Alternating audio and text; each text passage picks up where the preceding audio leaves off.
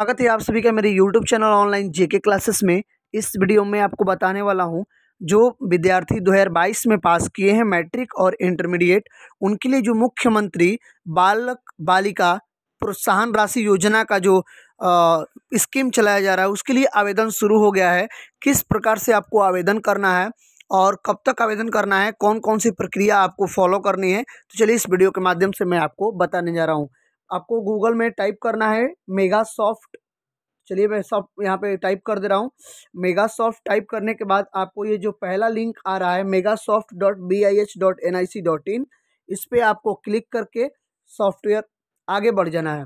ठीक है क्लिक करने के बाद यहाँ पे ये इसका ऑफिशियल वेबसाइट ओपन हो चुका है mega soft education department Bihar. यहाँ पे आपको डेस्कटॉप मोड में मोबाइल पर कर लेना है। डेस्कटॉप मोड पे मैं कर ले रहा हूँ। ताकि अच्छे से विजिबल हो। चलिए, मैंने कर लिया है। अब यहाँ पे आप देख पा रहे हैं, यहाँ पे देखिए फॉर 2022 स्कॉलरशिप मुख्यमंत्री बालक बालिका टेंथ पास प्रोत्साहन योजना 2022 के लिए आवेदन करें। मुख्यमंत्री कन्या उत्थान योजना, मुख्यमंत्री बालिका माध्यमिक प्लस टू यानी कि टेन प्लस टू ये इंटरमीडिएट के लिए होगा। प्रोत्साहन योजना के लिए दो हज़ार बाईस के लिए आवेदन करें। यहाँ पे दो अपडेट कर दिया गया है। ये लेटेस्ट अपडेट है। आपको किस प्रकार से आवेदन करना है? चलिए मैं आपको बता देता हूँ। यहाँ पे आपको क्लिक करना है इस वाले पे।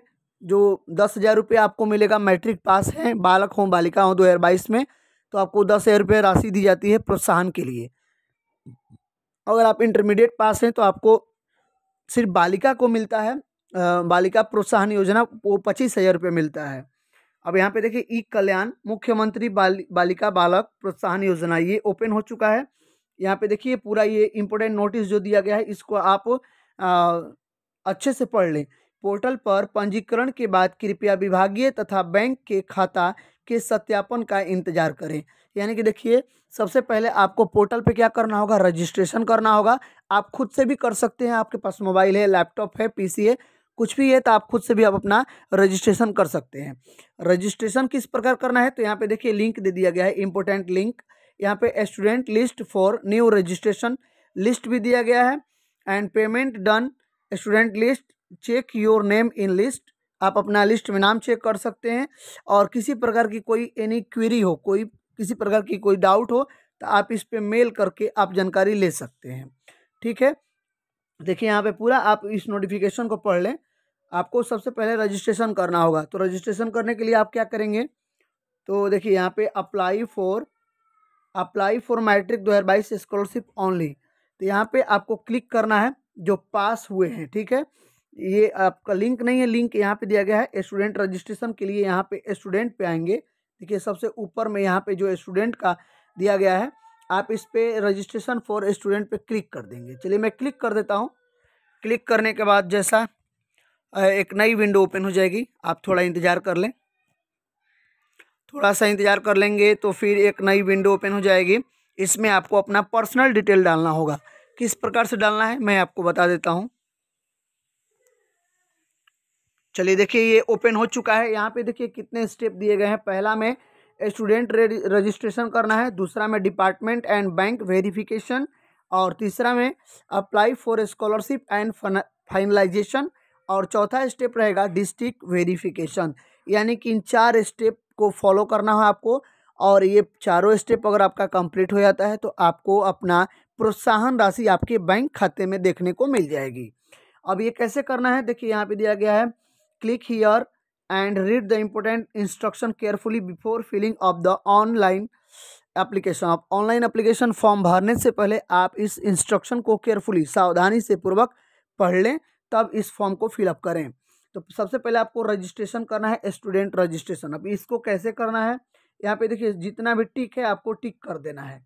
सब पे क्लिक करके मतलब आपको क्लिक करके और यहाँ पे कंटिन्यू पे क्लिक कर देना है। कंटिन्यू पे क्लिक करेंगे तो देखिए कैसा ऑप्शन आता है। मैं आपको आगे ले चलता हूँ इस विंडो से।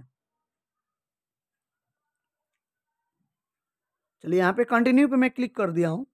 कंटिन्यू पे क्लिक करेंगे तो एक नई विंडो ओपन हो जाएगी, जिसमें आपका देखिए पर्सनल डिटेल आ जाएगा। यहाँ पे देखिए क्या दिया गया है। Student registration detail only for B S E B Bihar secondary education board जो आपका बी एस भी है, बिहार बोर्ड जो है टेंथ पास स्टूडेंट ऑफ़ 2022 जो टेंथ पास किए हैं स्टूडेंट 2022 में सिर्फ़ उन्हीं के लिए है। प्रोत्साहन राशि ये हर साल दी जाती है जो जो बच्चे मैट्रिक में पास करते हैं, ठीक है? अब यहाँ पे बात करते हैं रजिस्ट्रेशन नंबर की। तो रजिस्ट्रेशन नंबर यहाँ पे आपको डाल देना है जो आपका जो बिहार बोर्ड का एडमिट कार्ड मिला होगा या पंजीयन जो पंजीयन संख्या जिसे हम लोग बोलते हैं रजिस्ट्रेशन नंबर ठीक है? आपको इसमें डाल देना है, फिर अपना नाम डाल देना है, फिर अपना डेट ऑफ़ बर्थ डाल देना है। जितना मार्क्स आपका टेंथ में आया हुआ है, यहाँ पे डाल देना है टोटल ऑफ़ टेन मार्क्स जो आपका आया हुआ है। उसके बाद कैटेगरी आप चूज़ कर लेंगे, उसके बाद डिवीज़न चूज़ कर लेंगे। कौन सा डिवीज़न है? फ़र्स्ट डिवीज़न आए हैं सेकेंड डिवीज़न आए हैं। थर्ड डिवीज़न आए हैं, ठीक है? उसके बाद मैरिड हैं, अनमेरिड है, आपको यहाँ पे सिलेक्ट कर लेना है। सिलेक्ट करने के बाद आधार एज, नेम एज पर आधार, आपका आधार पे जो नाम होगा, वो आपको यहाँ पे डाल देना है। अपना जेंडर सेलेक्ट कर लेना है, आधार नंबर डाल देना है, फिर डेट ऑफ़ बर्थ डाल देना है, वेरीफाई नंबर, आधार नंबर। यहाँ पे वेरीफाई आधार नंबर करेंगे तो आपके मोबाइल पर एक ओटीपी जाएगा, उस ओटीपी को आप यहाँ पे डाल देंगे तो आपका आधार नंबर जो होगा, वेरीफाई हो जाएगा, ठीक है? उसके बाद आप अपना मोबाइल नंबर डाल देंगे, फिर अपना ईमेल आईडी डाल देंगे, यहाँ पे भी ओटीपी आएगा generate OTP for mobile OTP mobile को वेरिफिकेशन करेगा, फिर आपका ईमेल आईडी वेरीफाई होगा ओटीपी के थ्रू ठीक है? आप एक, आपको स्टेप बाय स्टेप मैं आपको बता दे रहा हूँ। उसके बाद आपको अपना बैंक का डिटेल डालना है। बैंक का आईएफसी कोड जो आपने खाता खुलाया होगा, आपके नाम से और होना चाहिए, क्योंकि आपके नाम से रहेगा, तभी तो आपके अकाउंट में पैसा आएगा, सब कुछ वेरिफिकेशन होगा डिस्ट्रिक्ट लेवल लेवल पे होगा। ठीक है, आपको अपना बैंक का आईएफसी कोड डालना है जो आपके खाते के ऊपर रहता है। उसके बाद बैंक नेम डालना है। बैंक नेम डालने के बाद आपका बैंक अकाउंट नंबर डालना है। फिर कन्फर्मेशन के लिए दोबारा आपको बैंक अकाउंट नंबर डालना है। फिर आपको यहाँ पे क्या करना है? प्रीव्यू पे क्लिक करना है। प्रीव्यू करेंगे तो आपको आपको दे देगा एक रिसिप्ट क्या प्रीव्यू होगा। वहाँ पे आप उसको प्रिंट आउट करके रख लेंगे। ये जब आप भर देंगे तो इसके बाद क्या होगा? आपका बैंक अकाउंट और आपका जो डिटेल आपने दिया है वो वेरीफाई होगा बैंक और आपका पर्सनल डिटेल उसके बाद आपके मोबाइल या ईमेल आईडी दोनों पर आपको यूज़र आईडी और पासवर्ड मिलेगा, जिसको आप डालेंगे तो आप आगे का फॉर्म फिलअप कर सक, कर पाएँगे। जैसा कि मैं आपको दिखा रहा हूँ, देखिए। जो यहाँ पे स्टेप दिया गया है, मैं आपको दिखा दे रहा हूँ। जो यहाँ पे मैं आपको बता रहा हूँ, रुक जाइए, थोड़ा सा वेट करें।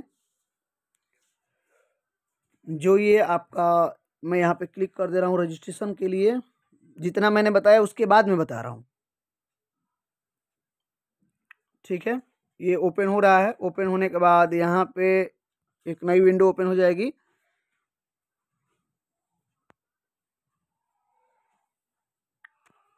थोड़ा टाइम ले रहा है खुलने में तो थोड़ा वेट कर लें। तो देखिए, यहाँ पे स्टूडेंट रजिस्ट्रेशन आपका हो जाएगा। इस तरीके से जैसे मैंने आपको बताया है, आप स्टेप बाय स्टेप फॉलो करें।